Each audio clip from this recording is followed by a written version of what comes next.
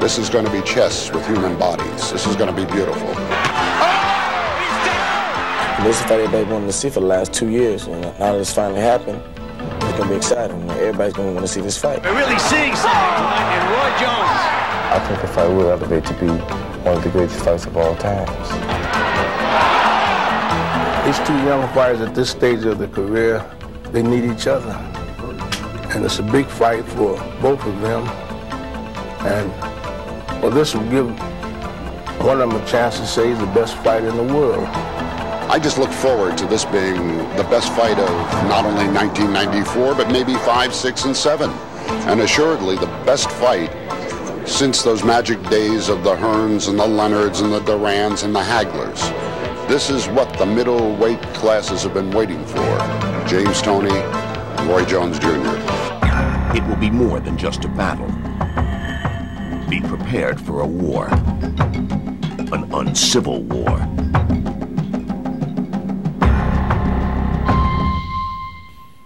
On November 18th at the MGM Grand in Las Vegas, two undefeated super middleweights will meet in a bout to decide the best fighter pound for pound today. And hello everyone, I'm James Brown and welcome to our preview of the James Toney Roy Jones Jr. Super Middleweight Championship fight. Now, over the course of the next half hour, we will take a look at James Toney and Roy Jones Jr. and discover why this is the most eagerly awaited fight of the year.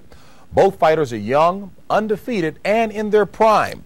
Both have known for quite some time this fight was inevitable, and both are itching for November 18th.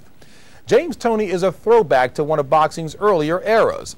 Those may have been simpler times, but there is nothing simple about what motivates this complex young man. James Toney, the IBF super middleweight champion, is the most active fighter in the boxing world to date. At 44 0 2, Toney is considered one of the meanest and toughest competitors out there. It's like I can go to any style. I can fight you. I can box you if you want to box, and I can outbox you. I can slug with you, and I can outslug you. I can do it the complete fighter. James Toney fights anybody, anywhere, anytime. And he takes all challenges. He's the most active fighter there is. And he really is a great defensive fighter, which very few give him credit for just because I'm training James, James is a better fighter than Roy Jones. He's a better technician. He's fought better fighters. He's had twice the amount of fights as Roy. And he's a better all-around fighter. Well, he wasn't always perceived as one of the best. He has fought long and hard to get to where he is today. Many boxing experts are wondering how James Toney is going to handle Roy Jones Jr. on November 18th.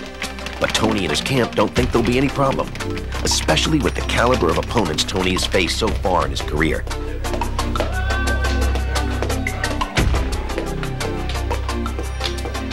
They told us Michael Nunn, who was also undefeated, was, you know, going to run, run, run, and he did. Then James caught him and dropped him, and that was it. James has been in with powerful guys like Barkley and Prince Charles, and he could deal with that. When we talk about skill, boxing skill and prowess, there's nobody better than Mike McCallum. He tried to beat James twice and couldn't do it. So I can't see anything that Roy Jones has to offer that we haven't seen already and conquered already. One man who has helped Toney with all his conquests is his trainer and mentor, Bill Miller. We're running out of rounds. We got the dog in this bag. I recall when I first started training James, he probably thought I was the meanest man that ever entered his life. Uh, he never dealt with nobody like me. Bill Miller, he's a, I love this guy. You know, when I first met him, Jackie first brought him to me, we didn't click. I said, Jack, get this guy away from me. Because he made me do something I never did, work hard before. I said, Jackie, I hate this guy, get him away from me and all this. And um, after a while, I started, you know, he started, we started to click. And now we like father and son. You know, we, we I talk. I can talk to him about anything. He'll do anything for me, and I'll do anything for him. He's a great teacher. He's not a trainer. He's a teacher. For November 18th, Bill Miller will teach James Toney how to deal with Roy Jones Jr. Hey! Oh, when you're training for a fight, you beat the style. Styles make fights. You beat the style. We know that Roy up front is gonna do a lot of moving. And, but with such thing, you know how to cut the ring off. And there's no such thing as a perfect fighter. You capitalize on a man's mistakes. And as long as we can keep this guy backing up, we got him. One thing nobody will have to do is motivate Toney for his fight against Jones. It's no secret that there is no love lost between these two combatants. James doesn't love any of his opponents because it's a business. He knows that that man is trying to take something away from him. But he especially hates Roy Jones. The fact that he's been so difficult and he's so arrogant just means he's going to get a worse beating.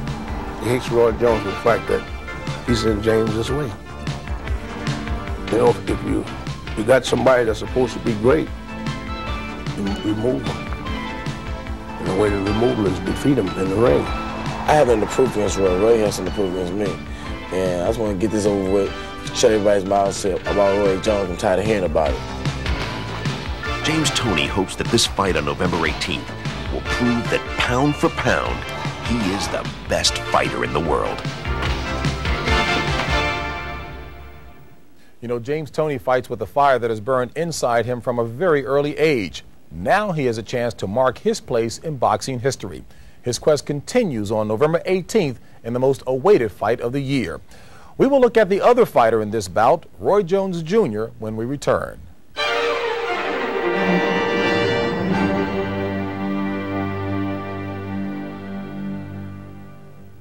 I'm definitely to stay undefeated. I've knocked out 23 out of 26. Now it's your turn.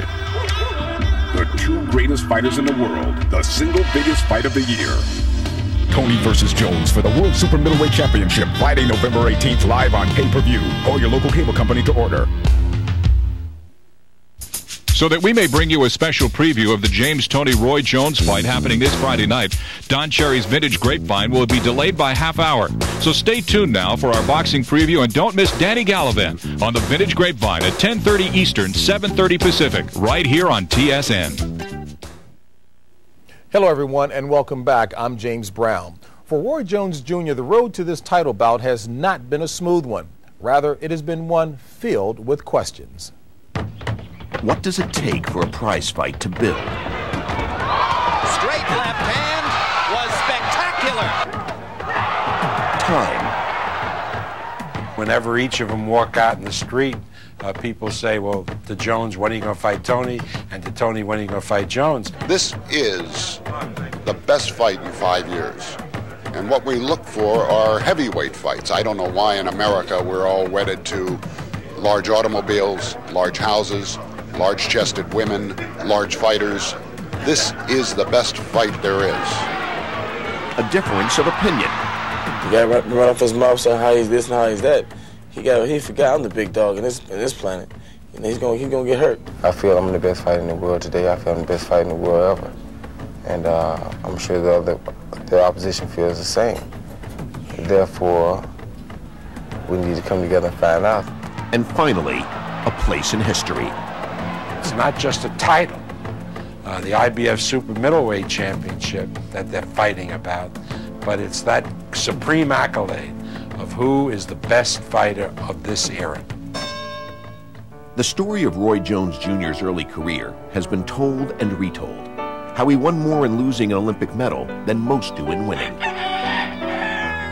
But now he's getting tired of answering questions about his past performances. He's had the big money. Tired because when greatness is expected, just winning is never enough. Roy Jones Jr. had a chance on national TV to showcase his talents against Bernard Hopkins. And he failed.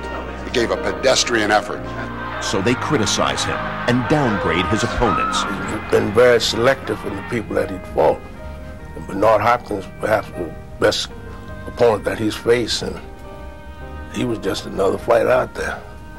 He's never faced nobody like James.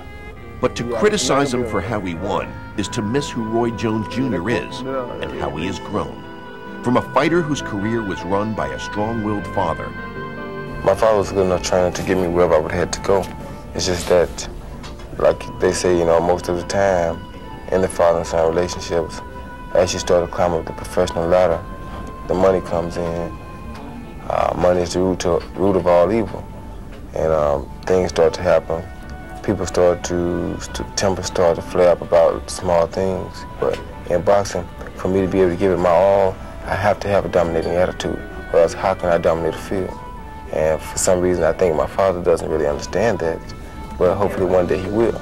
Now he is a man who has taken control of his career and his own destiny.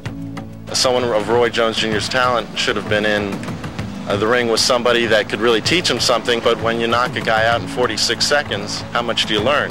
So he basically uh, said, I love my father, but I don't want him as a trainer or a manager. Roy Jones Jr. will have a forum November 18th to show his father he made the right decision. I think if there's a frustration factor built in, it comes right after the word junior. And that might say more, that little word junior, than any other word in all the hype. Because right now, he is the junior member of this twosome in experience and the junior member in exposure. And he's going to have to make himself the senior member that night. What Roy may lack in experience, he makes up for with speed. And in boxing, speed is a powerful weapon. See, the man's got speed. See, speed is power. Uh, so power, you're boxing a guy that's, that's got a lot of speed. You got to take his legs away from him. How do you take his legs away? You go to his body. You kill the body, they're here to die. The great world champions, you know, the Sugar Ray Robinson, Sugar Ray Leonard, uh, uh, Muhammad Ali, some of those people, my eyes, all of those people had fast hands.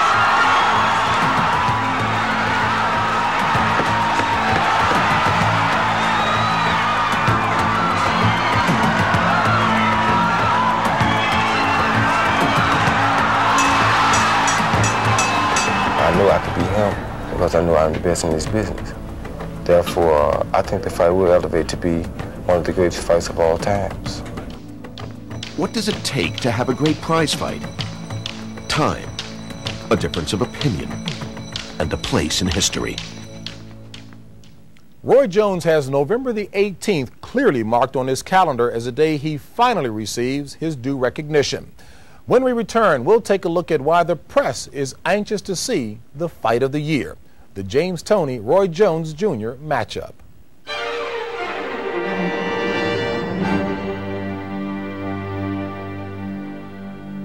Defeated, I'm definitely gonna stay undefeated. I've knocked out 23 out of 26. Now it's your turn. The two greatest fighters in the world, the single biggest fight of the year. Toney versus Jones for the World Super Middleweight Championship, Friday, November 18th, live on pay-per-view. Call your local cable company to order. In the 1980s, it was not the heavyweights, but rather the lighter weights that made the most noise and provided us with the decade's most memorable fights. Hagler Hearns, Leonard Duran, and Leonard Hearns are some examples. The November 18th Super Middleweight Championship bout is a throwback, so we decided to ask the press for their thoughts. Every prize fight starts with a question who will win? But to answer that simple question leads to a thousand other questions, like how long has this fight been brewing? I remember uh, Roy Jones uh, sitting in the first row of a post fight press conference where McCallum uh, fought Toney. Uh, and uh, the fact that Toney and Jones got into it uh, then and there, and that has to be at least two years ago. Oh, another left, another left for Toney, and oh! another left hook. That's it. How will James Toney deal with Roy Jones's speed? He's gonna get knocked out. Then he's gonna run for a couple rounds and I'll catch him. Like I said, I can adapt to any style. If he try to box, I'll, I'll box him. If he try to slug, I'll slug him.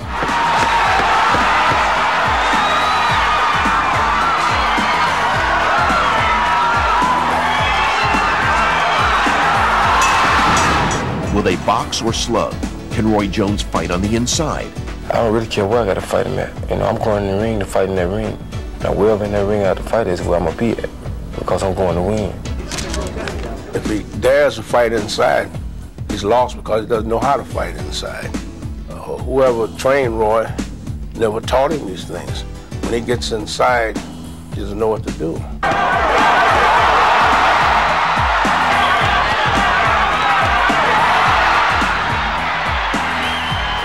Do these two fighters remind you of? I looked at Toney and I said, you know, he reminds me of Jack Johnson.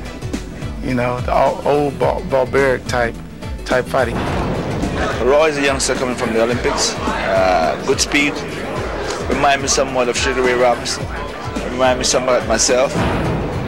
Talking about Ezzard Charles, who was top middleweight, perhaps one of the best light heavyweights that ever lived. This is probably as close as you're going to get to one of those old-time fights that we loved in the 50s, 40s. Robinson, LaMotta, Turpin. These men have it all.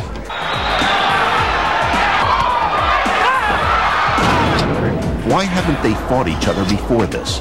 We go out there and put our life on the line. We go out there, we work, we go head to head, toe to toe, man on man combat.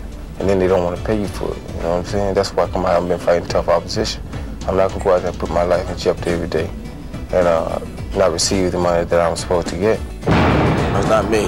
I had my contract signed in 1992, so it's just, it's a matter of time. Now it's happening. You can't go nowhere. Can't get out of this. It wasn't my fault. It didn't happen. My fight, been, my name been on two contracts to fight this fight. So I want to make it clear that I ain't the one who been ducking and dodging nobody.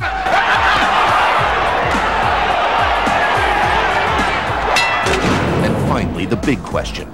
Will this fight decide who is pound for pound the best?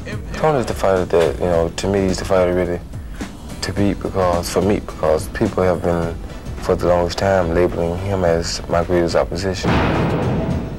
I'm, a, I'm definitely the best fighter in the world, and Roy is trying to be. So, you know, this is a fight everybody wanted to see for the last two years, and now that it's finally happened, it's going to be exciting. You know, everybody's going to want to see this fight. The beauty of boxing is that come November 18th, Roy Jones Jr. and James Toney will have their say.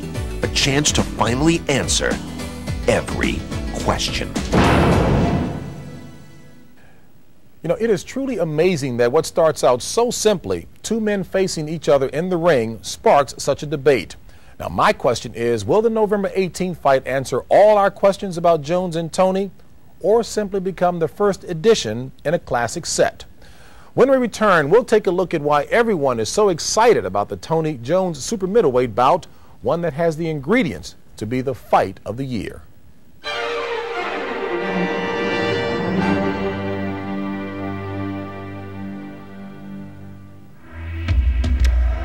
am the super middleweight champion of the world, James Lights Out Toney. I'm the king of the middleweights, Roy Jones Jr. I'm undefeated, I'm definitely gonna stay undefeated. I've knocked out 23 out of 26. Now it's your turn. The two greatest fighters in the world, the single biggest fight of the year. Toney versus Jones for the World Super Middleweight Championship, Friday, November 18th, live on pay-per-view. Call your local cable company to order. It's the festive season, and once again, Swiss Chalet is bringing you a special tradition. Our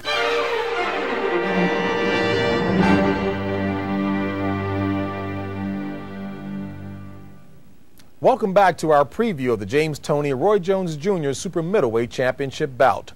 Nothing excites the boxing fan more than the prospect of two great fighters stepping into the ring against one another. With these fighters just now reaching their prime, November the 18th has become boxing's most anticipated day of the year. On November 18th, James Toney and Roy Jones Jr. will meet in the single biggest fight of the year. Why the anticipation?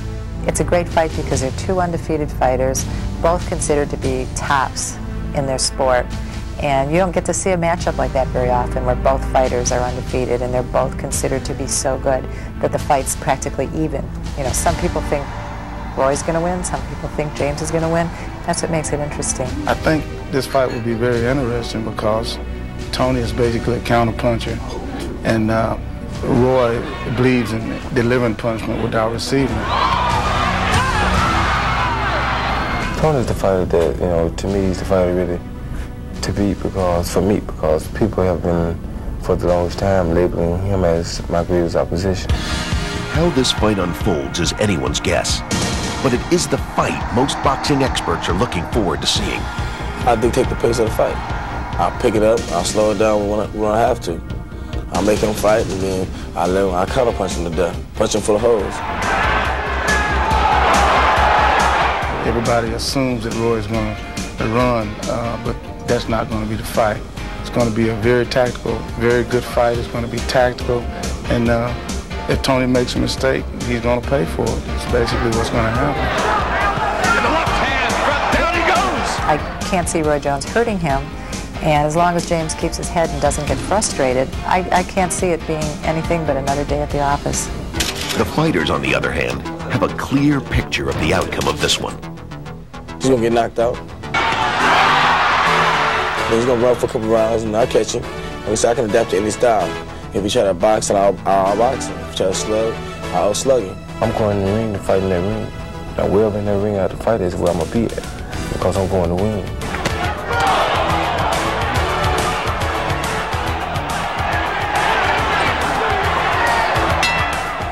Whoever remains undefeated that night cannot be guaranteed an easy time of it. As a matter of fact, the combination of styles proves to make November 18th a very interesting evening.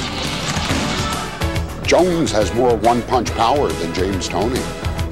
I think Jones has the knockout power of one punch. Toney's power is constant, continual, and cumulative. I think therein he's got to get close enough to make it work. Jones moves. Toney's immovable. Toney. And that went wobble McCallum. And another right. Toney comes after him here again. I don't think that uh, Toney will be able to, to, to uh, deliver the punches uh, towards Roy that he does on everybody else because, you know, you can't, you can't hit what you can't see. Well, James is, is pretty fast himself, and I think his speed will give Roy Jones equal trouble, so that should kind of neutralize that. And James has the best defense in boxing, so that's going to be to his advantage. Speed and power are two elements within this matchup that need to be considered. Another is the level of competition each has faced. Toney will be by far the best fighter that Roy has uh, fought against. You know, with a lot of fighters, it, a, a, fighter adjusts, adjusts to the, to the caliber of competition that he has. And uh, Toney will bring the best out of Roy. He's never faced nobody like James. It's like a lamb being led to slaughter. He's not ready for this, but he must have it because he asked for it. Or you have to give him what he asked for. Regardless of the outcome, the anticipation of this bout continues to grow. Some consider Toney and Jones to be the two greatest fighters in the world, so this one fight should live up to its expectations. I just think it's going to be a bull and matador fight with a lot of people throwing a lot of good punches and a lot of good defenses. This is the best fight in five years. I had no idea how this fight's going to turn out, who's going to win, uh, and uh, but I know the skill level of both of these guys because I've seen them perform. And I, I can't wait to see this fight on November 18th. Ever since they became middleweights, Roy Jones Jr. and James Toney knew their meeting in the ring was inevitable. Over the years, they have fought other opponents, but always with an eye on each other. For Roy Jones Jr. and James Toney, November the 18th can't come soon enough because when it's over, one of them will be recognized as the best in his generation.